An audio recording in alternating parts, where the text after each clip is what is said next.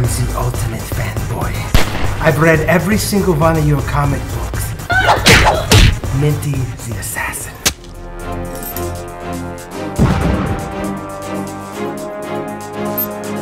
I don't have much time. I'm being held hostage in the clock tower. You have 60 minutes to get to me.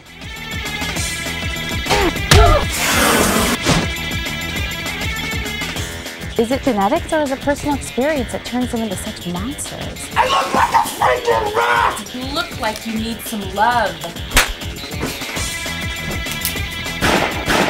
There are two things that motivate animals and humans to act.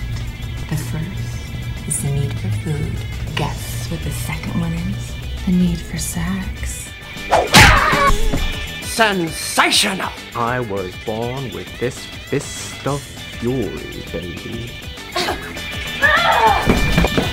Do you know what a black hole is, Minty? Or the space between your legs?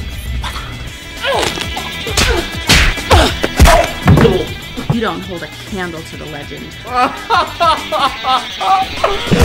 Oh!